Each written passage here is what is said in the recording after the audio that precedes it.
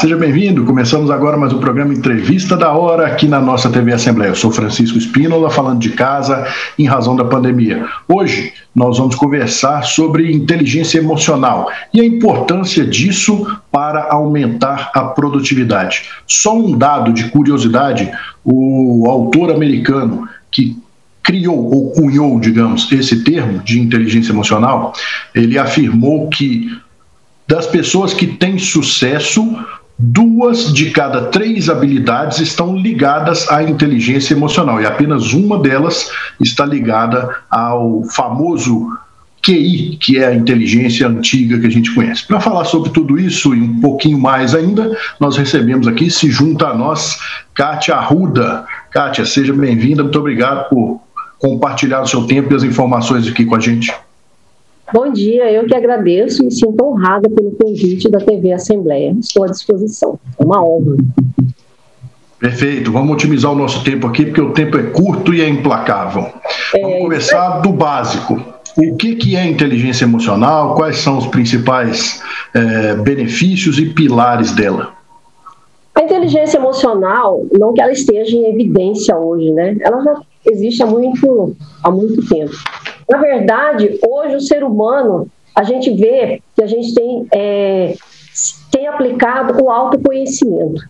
Então, quando você se conhece, você tem é, informações das suas, das suas necessidades, do seu comportamento, isso influencia muito ele, enquanto líder, ligado à inteligência emocional. Então, se ele é um líder forte, se ele se conhece internamente, ele com certeza ele vai ter uma equipe forte e com resultados fortes. Por que, que a inteligência emocional ela pode impactar na sua inteligência produtiva?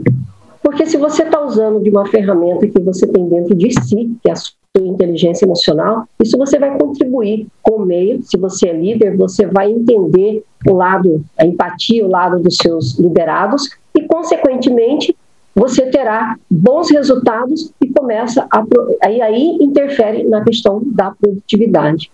Então, o autoconhecimento é o ponto chave na questão da inteligência emocional. Se eu estou bem internamente, eu estou bem no meio aonde eu estou, quer seja o ambiente corporativo ou o ambiente até dentro da sua casa.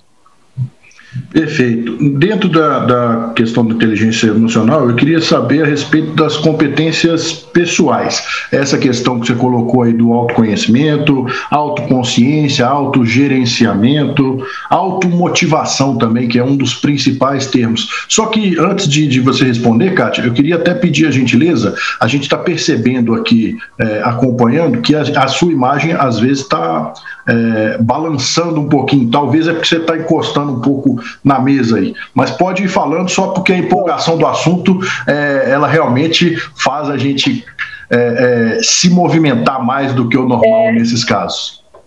Quem quase não gosta de falar, né? Você pode repetir de novo. Eu queria saber a respeito da questão de, do, das ah, competências pessoais, autoconhecimento, autogerenciamento ah. e principalmente automotivação.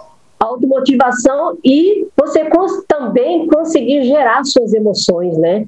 Porque o ser humano, é, nós somos, nós somos gente, né? A gente tem emoções, ninguém é, é sem sentimentos. Então, vamos trazer para a nossa realidade que a gente está vivendo hoje.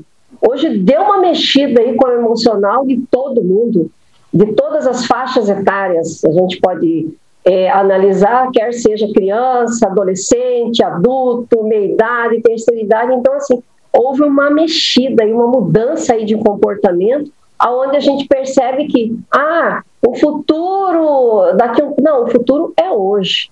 Então, você você tem aí que, na verdade, com a pandemia, muitos aí, né, uma das competências até que, que eu vejo, até que eu apliquei na minha vida, é a gente sair, sim, da zona de conforto e buscar o autoconhecimento, buscar as informações, porque as informações elas estão chegando com uma velocidade muito grande. Então, trazendo aqui para um profissional, né, qualquer que seja o profissional, se você não procurar buscar, você partir de você, você sair da sua zona de conforto, então você fica aí praticamente estagnado e você não consegue acompanhar. Então, não, não, existe mais aquele termo de eu falar assim, pelo menos no meu ponto de vista. Ah, na minha época, não, a sua época é hoje. Você tem que buscar se aprofundar no seu conhecimento, buscar suas informações, é, lapidar suas competências que você tem aí, não só no meio organizacional, dentro de uma organização, como na sua vida pessoal, na sua vida, na sua convivência, porque a inteligência emocional, ela reflete sim até no seu meio, quer seja é, conjugal, no seu meio familiar, no seu meio é, é, com os amigos. No final de contas, é o que eu volto a falar: nós somos gente, a gente tem sentimento, a gente tem as emoções. Perfeito. E a questão da automotivação, principalmente porque a gente escuta, é, é, convive com pessoas, às vezes até a gente mesmo percebe isso, e, e, a gente vê que a questão da motivação muitas vezes é transferida para o outro. Ah, não estou tão motivado no, no meu trabalho, não estou motivado a começar a fazer uma coisa, a começar a estudar uma atividade física, etc. e tal, e transfere aquilo para o outro, terceirizando a responsabilidade. E aí eu queria que você entrasse um pouquinho mais nessa questão da auto motivação, como é que ela funciona é. e se realmente sempre é com a gente. É, porque na verdade a gente tem essa mania de, de sempre querer transferir as, as, as as nossas responsabilidades para o outro, né? Então tem que partir primeiramente de você. Então, quantas, você falando aí da automotivação, vamos dar um exemplo: atividade física. Eu sou praticante de atividade física. Agora eu tenho uma parada porque essa questão da fumaça e respiratório, como eu estou em casa, eu pratico em casa. Então, assim, tem dias que realmente que você não está afim, mas isso é uma, é uma vontade, é um querer seu. Eu não começar a fazer algo no caso da atividade física, e não dar continuidade. Ah, porque hoje eu não vou fazer, porque eu não estou afim, amanhã eu faço. E assim, outros aspectos da vida. A automotivação, que ela parte dentro de, internamente de você, é, é uma coisa que você tem que procurar buscar e que ela é alinhada também ao seu autoconhecimento, ao seu bem-estar, à sua forma de você enxergar o mundo. Então, é, eu, eu, eu costumo brincar as oportunidades, elas nascem para todo mundo. Basta você querer enxergar aquilo que está bem próximo de você.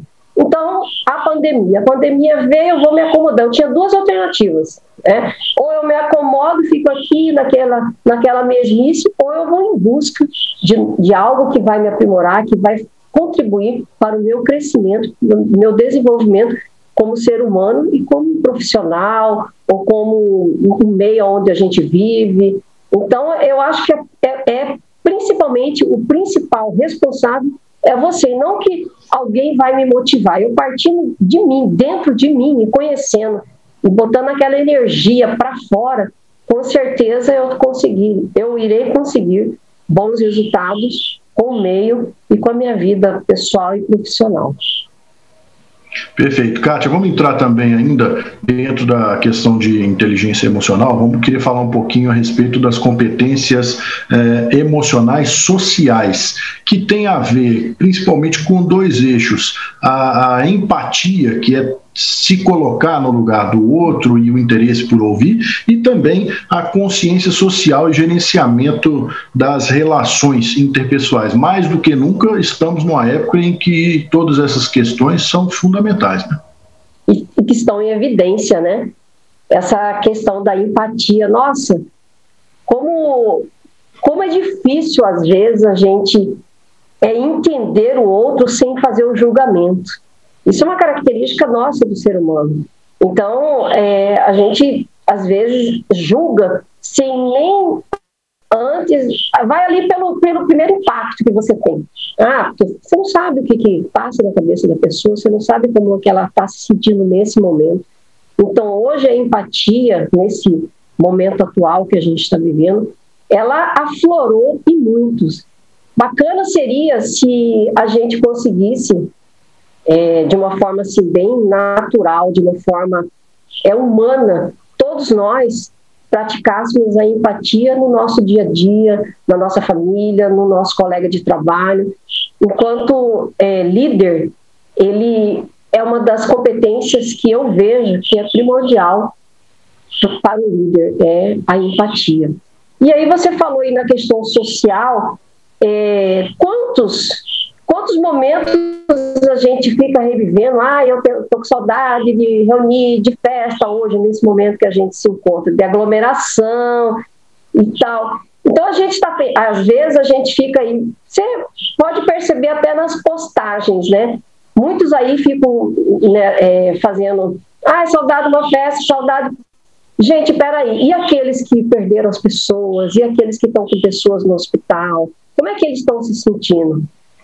É, então, assim, também ao mesmo tempo eu estou aí pensando na empatia, porque qualquer um de nós hoje, ou a gente perdeu alguém próximo, ou alguém conhecido, amigo do amigo, ou com a pandemia.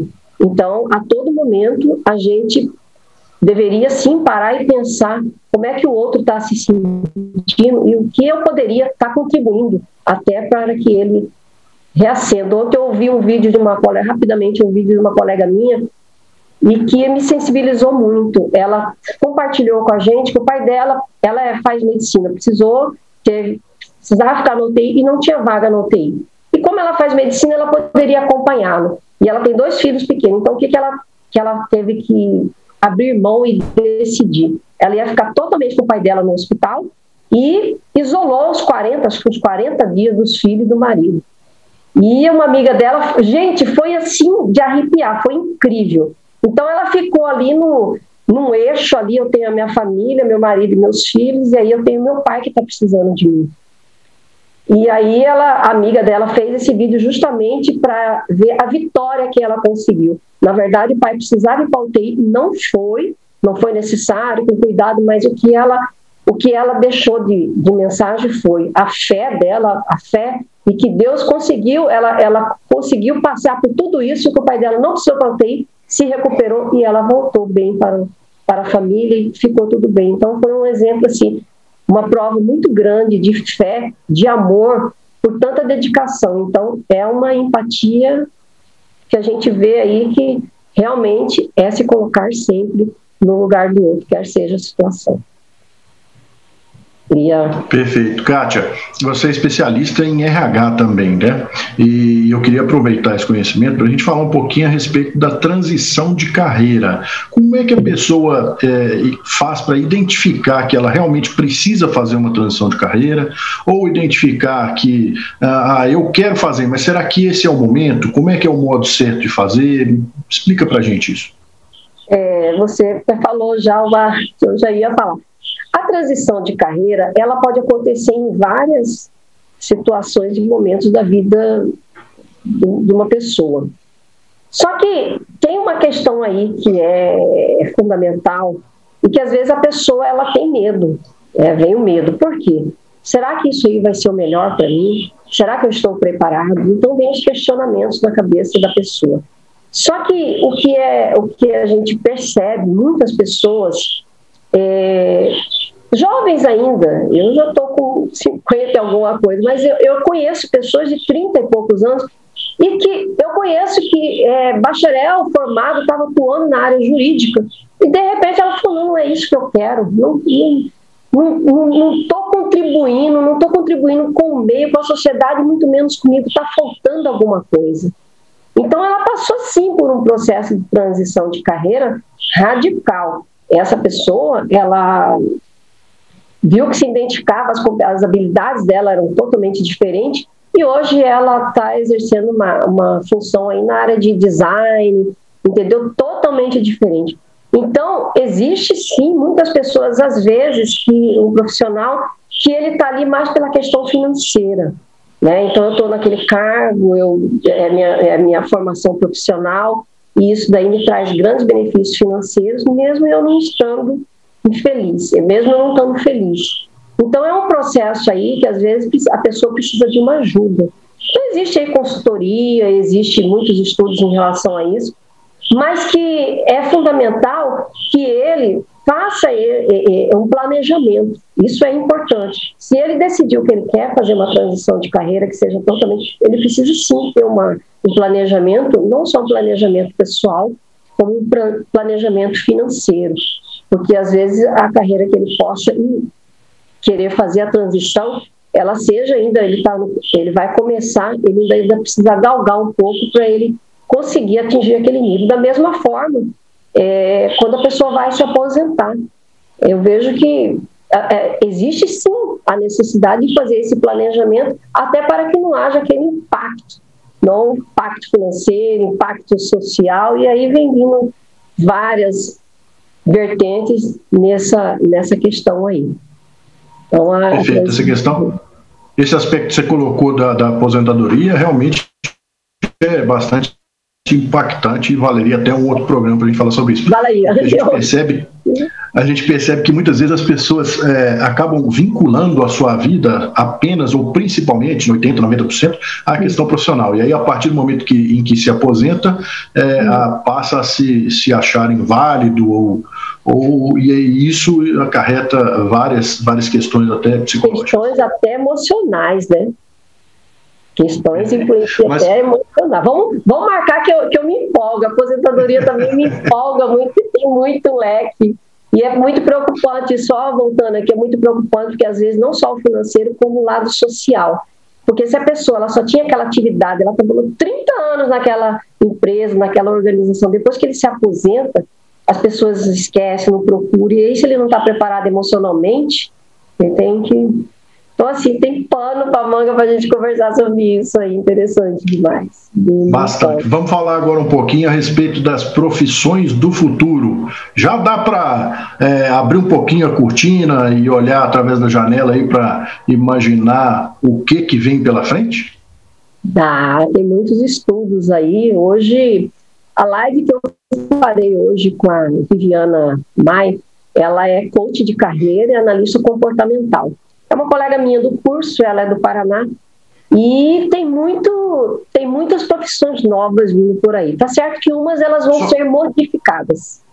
Deixa, deixa eu só fazer um, um, uma observação aqui. Esse programa a gente está gravando na sexta-feira, dia 11 do 9, 11 de setembro. Portanto, esse, essa live que você está colocando aí, ela provavelmente, quando as pessoas estiverem nos assistindo, ela já vai ter acontecido, mas deve ficar gravada, não é isso? Sim vai ficar a live, eu vou deixar gravada no meu feed. Aí depois, se as pessoas tiverem interesse, só olhar no meu feed, é arroba Kátia, underline, arroba.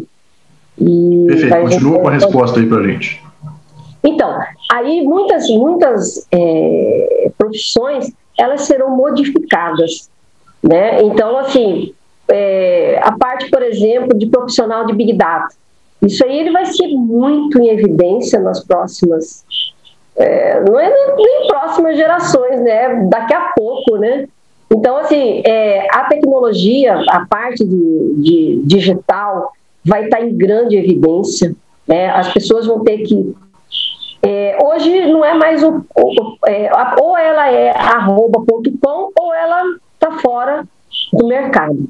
Então, a parte de tecnologia, a parte jurídica também vai ter uma mudança aí na inteligência artificial, na parte da questão da medicina. Hoje a gente já tem aí a telemedicina, que até então, há pouco tempo jamais isso poderia acontecer. Então, você percebe que em todas as áreas, até na parte do agronegócio, a gente vai ter uma, uma grande revolução aí na parte da, da, das profissões que virão pela frente. Então, por exemplo, na parte da, da medicina, era uma coisa que era muito distante, era muito, nossa, fazer uma consulta por online, fazer uma consulta, hoje em dia já até já tem estudo até que até a cirurgia já pode ser feita. Eu é, é fiz várias, fiz consulta online agora, então é uma coisa, aí, aí uma coisa que, que ou ele vai, a, a, a, informação ela vem vindo, que hoje até na, tele, na telemedicina, os médicos eles já estão já emitindo até com assinatura digital, a receita que é controlada com assinatura digital, então assim, é uma, é uma gama de informações, é uma gama de mudança radical. Então, para os jovens que vêm vindo aí nessa, nessa nossa nova juventude, ele vai ter sim que se preparar para essa gama de novas é, profissões que estão vindo por aí em todas as áreas, em todos os, os setores. Então, ou a pessoa ela, ela procura se aprimorar e acompanhar para ela estar tá inserida no mercado de trabalho, porque hoje o que, o, a importância não é mais só eu ter a graduação, o mestrado, a, pós-graduação, mestrado, doutorado, não. E sim a, o nicho de conhecimentos que eu vou adquirindo no decorrer da vida, que é o lifelong learning, né? que é o conhecimento a todo instante. Agora, mais ainda, nesse cenário atual que nós estamos. Perfeito, Kátia. Eu queria aproveitar o, o, que você acabou de citar aí a respeito de telemedicina e convidar as pessoas que nos acompanham. Esse programa, além de ser veiculado pela TV Assembleia, ele fica na página da TV Assembleia no YouTube. E nós já gravamos, eu mesmo gravei, um programa com o pessoal do governo do estado de Mato Grosso, que tem um núcleo de telemedicina. E eles mostram lá, explicam para a gente como é que isso funciona na rede pública de saúde, por exemplo. Eles dão um suporte de médicos especialistas para localidades aonde não tem um especialista. E isso é, é bem interessante. Tá lá na nossa, se você procurar aí na nossa, na nossa página no, no YouTube é interessante. Tanto Kátia, você que está, como, como você que está nos ouvindo. Agora, Kátia, nosso tempo está esgotando, eu tenho só mais uns dois minutinhos, mas eu precisava colocar, pegar um outro gancho que você colocou aí, das pessoas jovens que vão e, e que estão chegando agora. E a gente tem a geração dos millennials, aquela geração que já nasceu conectada, então a tecnologia não é necessariamente um grande problema para eles. Por outro lado, temos crianças que estão sendo impactadas, crianças e, e adolescentes, por exemplo, que estão sendo impactados com esse momento da, da pandemia por aulas é, apenas online. digitais, digamos, online, isso. E aí isso acaba impactando, por exemplo, na, na, questão de socialização dessa geração e também na questão de trabalhar em grupo e trabalhar essa questão emocional. Eu sei que esse assunto é bem complexo, também valeria um outro programa sobre isso, mas eu queria que você falasse sobre isso em dois minutinhos para a gente. Sim, com certeza. É, para eles também é algo novo, né? E assim, eu tenho também, eu tenho um filho adolescente que está passando por isso, mas o que, que a gente percebe? É, muito embora é necessário ter aí a, as aulas online, não tem, nós não temos outra alternativa. Eu acho que por esse ano não volta mesmo. Então a gente não tem outra alternativa. Então eu tenho esse caminho que eu preciso seguir. Ah, mas o, o nível de, de produtividade não é o mesmo? Sim, não é o mesmo. Mas a gente não tem outra alternativa. Então vai depender muito dos jovens que é muito difícil. Você é, são poucos assim, nem todos, né, se dedicam e fica ali ó, aquele tempo inteiro nas aulas e depois fazem as atividades. Mas é, o, é aquele ditado, é o que temos para hoje. Então, assim, é uma questão de consciência, eu acredito, de incentivo até dos, dos pais, de estar tá incentivando que o ensino à distância já existe há muito tempo. Ele não é de hoje o ensino à distância, já está há muito tempo no Brasil. Eu, inclusive, já fui tutora de ensino à distância. E o que é, é, é que é muito difícil você até comparar uma a criança, na criança ou adolescente nessa faixa com o adulto, dele entender que é a necessidade dele de se, de se é, aprofundar nos estudos, mesmo sendo online, que é o momento, é o cenário que a gente se encontra hoje. Então, nós não temos alternativa. Você tem que ir por esse caminho, se dedicar, e mesmo que você não consiga porque o nosso cérebro também, ele, ele não absorve totalmente 100% de, de conhecimento do que a gente ouve. Agora você imagina para os jovens. Então, pelo menos 10% que ele absorver já está valendo e que aí ele aprimore isso daí. É muito complexo, mas é uma situação delicada e que eu acredito que o incentivo nosso, acho que ajuda e muito influencia a eles. Perfeito, Kátia. Muito obrigado pela companhia, por compartilhar com a gente o seu tempo e as informações. Imagina, eu que agradeço a TV Assembleia e me coloco à disposição. Meu, meu Instagram é arroba Kátia, underline, arroba. Qualquer informação tem um Linktree na minha bio. Muito obrigada. Obrigado a você também que nos acompanhou. Chegamos ao final de mais essa edição do programa Entrevista da Hora aqui na TV Assembleia. E eu queria só deixar um recado final para você que está nos acompanhando aí. A gente encerrou falando dessas dificuldades da pandemia, principalmente para crianças e jovens, em relação à questão da educação. Realmente tem um lado de dificuldades, mas tem um lado positivo também, porque se não fosse a tecnologia, isso não seria possível e a gente não teria nem essa alternativa que temos para hoje. E além disso, essa alternativa ela possibilita que as pessoas é, burilem ou melhorem ainda mais a sua capacidade de comprometimento e de disciplina, porque com isso realmente você consegue muita coisa na vida. Muito obrigado e até uma próxima oportunidade.